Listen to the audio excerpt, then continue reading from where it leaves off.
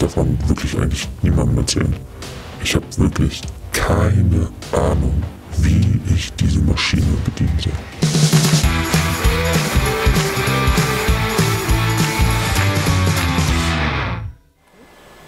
Und damit hallo und herzlich willkommen. Heute geht es um dieses Prachtstück hier, die EdgeTech S500. Zu ihr gesellt sich jetzt der Wood Commander 5. Was das ist?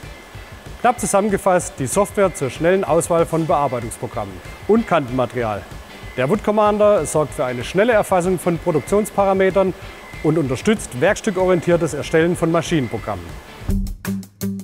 So, wir sind jetzt unterwegs nach Forstern, das liegt in der Nähe von München.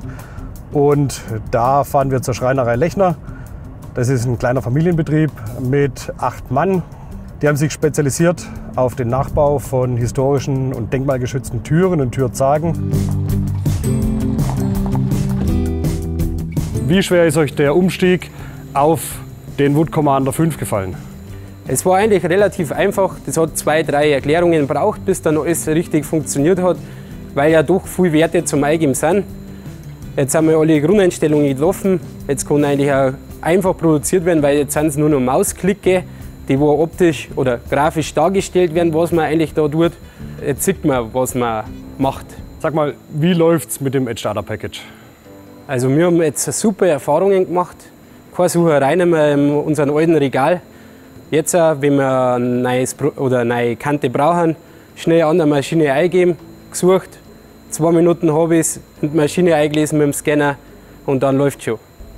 Also durch das Edge Starter Package äh, seid ihr damit auch schon ein bisschen schneller geworden natürlich, weil ihr weniger Zeit mit der Suche von Kanten verbringt. Aber wie schaut es mit dem Wood Commander 5 aus? Seid ihr dadurch auch schneller geworden? Ja, grundsätzlich schon, aber ein großer Grund dafür ist einfach das doppelte Kantenmagazin. So können wir gleich die beiden Kanten, wo wir für einen Auftrag brauchen, Melamin und ABS-Kante, hinten ins Magazin durch.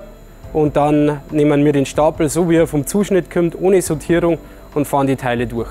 Und davor haben wir immer Fächer und Böden und Seiten auseinandersortiert, weil die verschiedene Kantenbilder gehabt haben.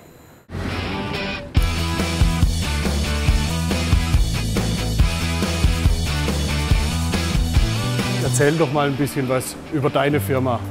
Ähm, wir sind zehn Mitarbeiter und sind hauptsächlich in der Büromöbelbranche tätig im Bereich Klapptische und Schalenstile als Zulieferer.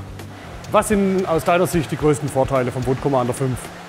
Die größten Vorteile sehe ich darin, dass man ähm, alle Einstellungen am Display äh, vornimmt, äh, nicht in der Maschine irgendwo rumschraubt und was verstellt. Man findet sich sehr leicht zurecht, wodurch natürlich auch das Erlernen sehr leicht fällt. Macht ihr noch Probewerkstücke beispielsweise, bevor ihr einen Auftrag produziert? Probewerkstücke braucht man eigentlich nicht, weil die Kante kommt zu 99 Prozent sauber raus. Es ist jedes Teil, wie es rauskommt, eigentlich schon nahezu perfekt.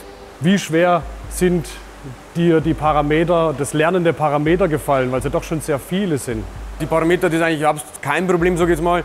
Also wenn man jetzt die Zielklinge verstellt, dann sieht man, ob es jetzt ins Plus oder ins Minus oder nach vorne oder nach hinten. Man sieht am Bild, was man gerade macht.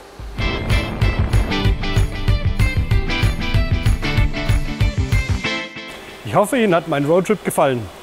Wie wir erfahren haben, wird Ihr Betrieb durch den Wood Commander 5 schneller, sicherer und flexibler. Jetzt wollen Sie natürlich viel mehr wissen. Alle weiteren Infos gibt es auf homac.com. Und ich, ich schaue jetzt mal, was die Kollegen machen. Bis bald. Du musst wahrscheinlich ein bisschen Moment, weiter. zwei, du musst gucken, wo das 2 mm Programm ist. Von der Seite ist das schwer zu sehen.